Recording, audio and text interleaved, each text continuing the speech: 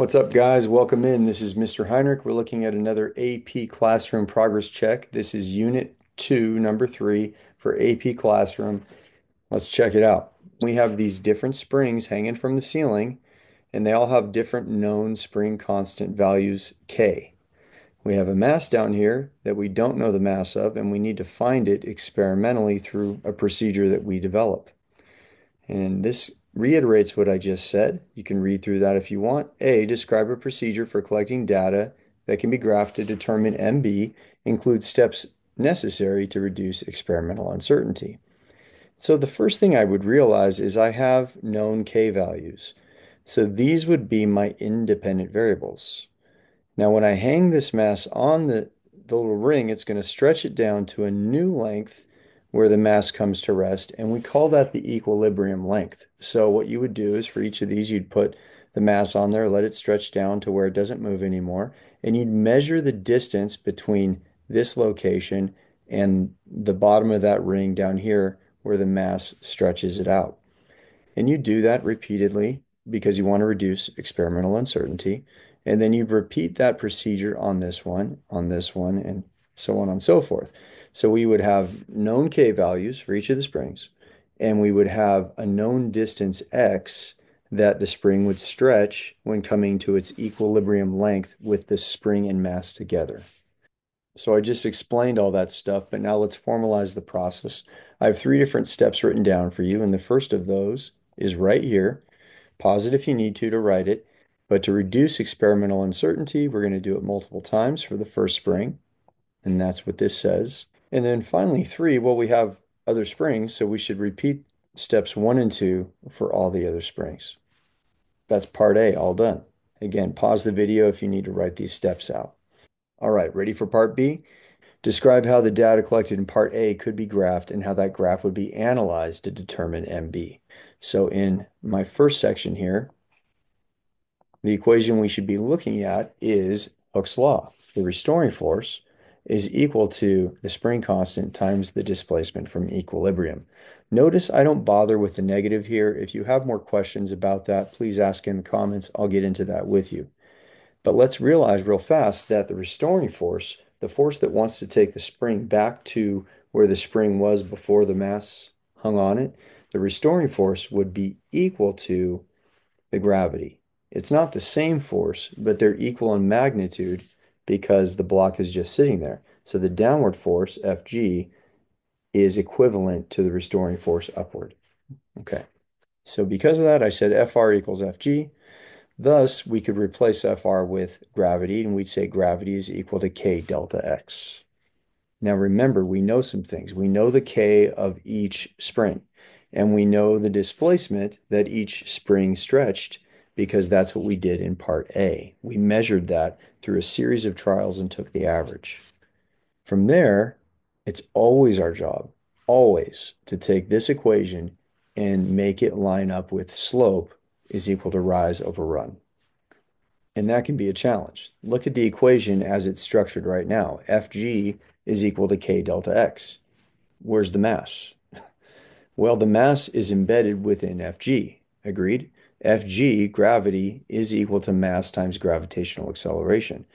So what I would do is make Fg my slope, and then from the slope you could easily divide by g, gravitational acceleration, to find the unknown mass. That's what I would do. But then that leaves us with an interesting issue.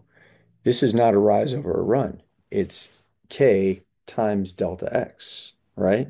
And that's not a division, that's a multiplication. So how do I force a division? How do I force a rise over a run? Well, I want k to be my rise, no doubt. Okay. What I need to do is divide k by the inverse of delta x. Does that make sense? If I divide k by the inverse, meaning 1 over delta x, then it's the same thing as k times delta x. And I'm going to show that now so if you look at this with me, you'd have k over 1 over, and I'll just use x to keep things simple here. It's a delta x. Well, all I'd have to do is multiply top and bottom by x, and I would clear that awkward looking division there.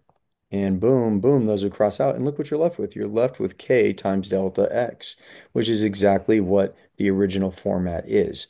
So we're forcing a rise of k and a run of 1 over delta x by doing this. And so we're going to graph k on the vertical axis and 1 over delta x on the horizontal axis. And by doing this, we get a slope, and that slope will be gravity. So we calculate the slope, and remember, divide it by 9.8 g in order to obtain m sub b. Done with part B. Let's move on to part C. So this is a lot of verbiage. This is the graphical analysis part of this FRQ. Read this if you want to. I'm going to give you my version. So we have this two kilogram mass. It stays two kilograms the entire experiment. We put it on this spring and we stretch it where static friction can just hold it in place. Meaning if we went any further to the right here, the mass would rebound back to its original position. So we're finding out when static friction is maxed out. So we'll pull this out maybe to here, and then it'll just barely stay there. Then we would switch springs and do the same thing and the same thing with all these different springs. And so we have a bunch of different data based on that idea.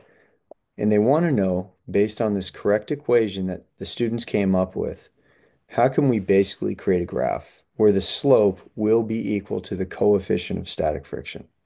That's the nuts and bolts of this question. So let's look at C1 indicate which measured or calculated quantity could be plotted on the horizontal axis to yield a linear graph whose slope can be used to calculate an experimental value coefficient of static friction, mu s, between the block and the surface. You may use the remaining columns in the table as needed to record any quantities, including units, that are not already in the table. Now, the nice thing here is we already know mu s is going to be the slope of our graph. Done. Okay and x is going to be the vertical axis or the y-axis. So they've already taken out a lot of guesswork for us. Looking at this equation that students created, you can already see mu s up here in the numerator. Let's leave it there. We want to isolate this because we want that to be our slope. And we already see x is in the numerator also. So it's already set up to be our rise for the graph that we're about to create. So what do you have to do? Well, you got to create a run. You got to create a horizontal axis. Well, simply put, why don't we just take this big clunky thing, m naught g over k, and divide both sides by m naught g over k. Then this big ugly piece would be the quantity that would go on our horizontal axis. Make sense? I hope so. So right here, that's exactly what I put. But don't forget, we're supposed to actually create the plotted points we're about to put on the graph. So how do I create those plotted points? Well, m naught is 2, g is 9.8, 2 times 9.8, 19.6, and you will just divide 19.6 by the particular spring constant value over and over again to arrive at these plotted points that I'm about to show you. Boom, right there. So each one of these were obtained by doing 2 times 9.8 divided by these different spring constant values. But let's not forget, they want us to include units. So right here, I'm going to show you. Once again, you know we're graphing m naught g over k, but let's look at this weird unit. How did I get to that unit? Well, mass is kilograms, g is meters per second squared. So what's a kilogram meter per second squared? By definition, that is a newton.